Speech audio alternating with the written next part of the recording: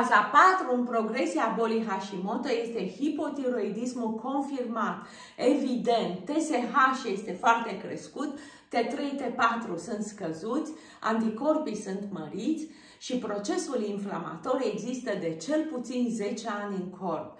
Se pune diagnostic, se primește tratament, dar medicația hormonală nu oprește progresia bolii autoimune.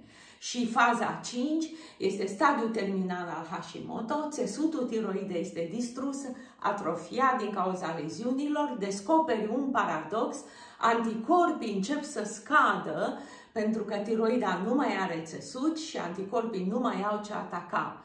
Continui tratamentul, crești doza, Nodulii se măresc, dar tratamentul nu dă rezultate, daunele sunt irreversibile și confirmă atacul autoimun din ultimii 30 de ani. Ți se spune că ar fi bine să scoți tiroida.